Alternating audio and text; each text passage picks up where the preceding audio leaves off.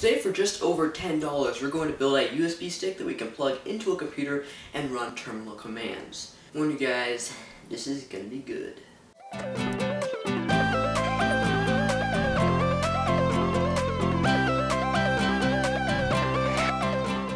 Rubber ducky is what you would call a bad USB. Basically, it's a USB stick you can plug into a computer to run terminal commands and pretty much anything you can do with a keyboard. The Rubber Ducky costs $45, but today we're going to be doing the same thing for just over $10. Down in the description you can click a link to a video by Satonic. It's a really great YouTube channel if you're into hacking and coding and stuff like that. Um, and he created a $3 bad USB stick. I am building pretty much the same thing, only it's $10 because I wanted it here within a week instead of within three months, which is the links that he gave us. You can do it for just over $10, but if you don't really care how long it takes to get here, you can do the same thing for about three or four dollars. I'm going to be showing you how to do it on a Mac because I use a Mac for my main computer. If you'd like to know how to do the same thing on Windows, you can go watch Satonic's video about how to do that. I'm just to show you how to do it on a Mac. First off, to build this, you're going to need an Arduino Pro Micro. Um, it is a really cheap Arduino board that does a lot of really cool things, but today we're going to be using it to program a bad USB. Also, unless you want to do a lot of soldering, you're going to need this little thing called an OTG adapter. Basically, it's a, a micro USB to full-size USB adapter. It just makes it a bit easier. If you have an extra USB cord laying around, you could solder that on yourself, but um, this OTG adapter just makes things look a whole lot nicer, and it's only a couple bucks off eBay, so what have you got to lose? Also, if you want to make your life a whole lot easier, you're definitely going to need a little button, just a simple PCB board button. If you're into doing projects like this, most likely you have a dozen of these laying around anyway, but if not, you can get it for a couple cents off eBay pretty cheaply. Links to buy all of this stuff will be down in the description, as well as a couple other links that are super useful, so go down there. I mean it. It's really useful. Okay, the first step, if you have the button or a switch, will work as well. Go ahead and solder that onto pins ground and 3 on your Arduino Pro Micro. Just so you know on these little buttons, the two pins that are on the same side are the ones that are closed and open when the button is pressed or let off, not the ones on opposite sides, if that makes any sense at all. You also definitely want to put a little bit of electrical tape on the side of the OTG connector that doesn't have pins, just to keep your board from frying in case you plug it in backwards. Now let me explain why we have a button on the board. This board is going to be programmed to run code immediately once it's plugged into a computer. That can become a problem when you want to reprogram your board and plug it into your own computer, then all of a sudden all your code is running on your own computer, which would obviously be a bad thing. So with the code we're going to be installing, all you have to do is hold down the button when you plug it in and the script will not run. You'll definitely thank yourself if you put a little dab of hot glue around it just to keep things secure. The last step is to simply plug in your OTG adapter into the board. And that will about do it for the hardware. Now comes the fun part, taking our bad USB and programming it on our Mac. First off, head over to arduino.cc and download the latest version of Arduino Control. Um, it's free, you can get it pretty easily, just install that, because obviously it's an Arduino board, so we need to use the Arduino software to control it.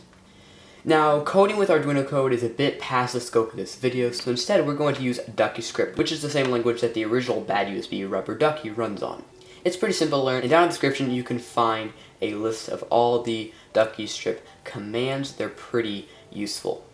We'll only be using a few of them, but feel free to dive in here and learn all you can about this because it is a pretty easy script to learn.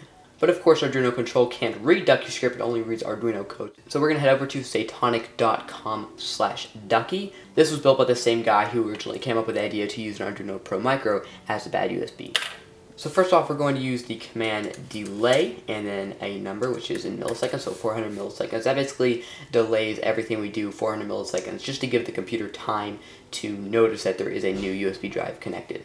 After that, um, we're going to, let's say, go ahead and open up terminal. So we're going to use the command GUI, which basically means clicking the command key, but um, that's not going to do us very good. We want to actually hit the space key after that, so command space, that will open up Spotlight, then below that, we're going to add a string command, which basically just types something out, uh, terminal, and then the command enter, which is obviously the enter key. So that will open up Spotlight and type in terminal and hit enter to open the terminal app.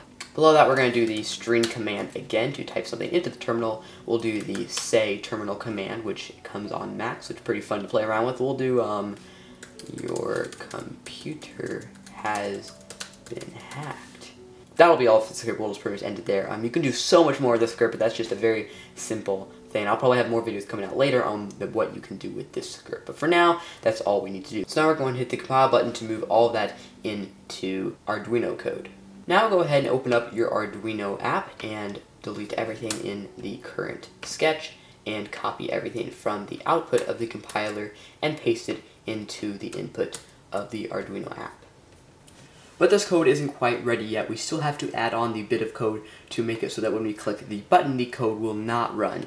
So, to do that, scroll down until you find the void setup and, and return a couple times to add some more room at the beginning of that command.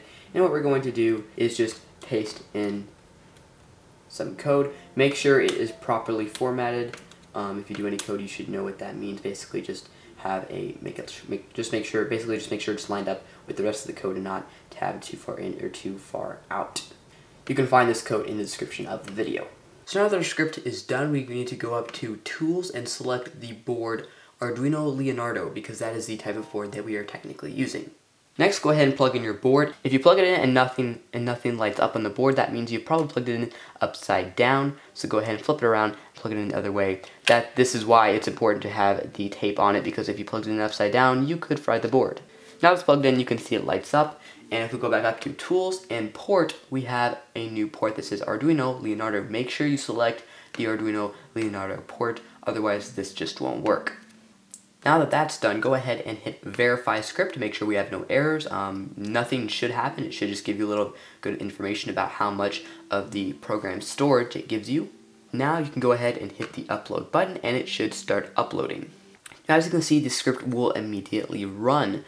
Obviously, something has gone wrong here because the script run and something happened that we didn't quite want it to happen. So we obviously need to change a bit in our script. What I'm going to do is go ahead and unplug the board from the computer and exit out of this and let's go check our Ducky script to see what went wrong. Okay, so here is the problem. We have the stream terminal and then we immediately hit enter. I think the problem is we're not giving the computer enough time to actually recognize what we've done because believe it or not this little board can go faster than the Mac graphic user interface. So what we're going to do is add a delay command. Uh, we'll do 400 milliseconds again, hit enter, and then do another delay, 400 milliseconds, and then type that in. Hopefully those delays should give us a bit more time. We're going to go ahead and compile. We're going to copy our new and improved code, go over to Arduino, paste it in, and now of course we have to add that little button code at the beginning again. Uh, verify to make sure there's no errors, which there aren't. Here's an example where this button comes in play. We're going to hold down the button while plugging it into our computer to keep the script from running. This is kind of kind of tricky at the angle I'm doing it, but nothing happened. I should be able to let go of the button now, and as you can see, no script ran, meaning that our little button code worked. So now that we have added our extra wait times between commands, which I think is very important, we can go ahead and upload our scripts. Just click upload, and as soon as you see stuff happen, go ahead and just yank it out of your computer, there we go, I pulled it out. Um, it started at the beginning of the script, but I didn't do all of it now. That's not really required, but if you left it in, the whole script would run, which is obviously not a good thing if you were doing a script that could, you know, potentially hack into someone's computer. But of course, this wouldn't be a JSWave video if we didn't 3D print something, so here's a case for it. You can download this on Thingiverse, link in the description, and it just slides in here, and you can line everything up just right so that you can plug in the OTG adapter, and there's a little hole in this cap to go over the button and you can just slide that into the rest of the case. I printed it all tight fit. You might have to adjust some things depending on the tolerances of your printer, but if your printer prints accurately enough, it should all fit together quite easily. There, just an innocent little uh, USB drive that with a 3D printed case and a piece of electrical tape and a button on the side. Uh, guess those tolerances were a little too tight because uh, the top literally ripped off and you can see the infill and I can't get the board out. So, okay, so I removed it just fine um, with a little of prime. So obviously this file needs fixing, so don't worry, the Thingiverse version of this file, feel free to go and download it right now. It should be the correct tolerances and should all work just fine, so don't be scared about that at all. But let's go ahead and see if this little gadget works. So I'm going to go ahead and just plug it in, being careful not to hold the button when plugging it in, obviously. And, oh. Your computer has been hacked. Ha ha! Sweet Jibri, it worked! Well, I definitely call this little project a success. James board works quite well. But don't think me, definitely go over to Satonic and subscribe to him. He has some great other videos. Like I said in the description, has the original tutorial for how to do this on a Windows computer. I will definitely be having some more videos coming out soon about what you can do with this little board. I'll probably go over on how to create a reverse shell and probably a couple other fun little humorous projects. But I would definitely recommend learning all you can about DonkeyScript and Arduino code. It is definitely becoming a very useful tool in this day and age, and it's definitely a good prank to play on your friends. I'm Sad, thanks for watching. Whoa.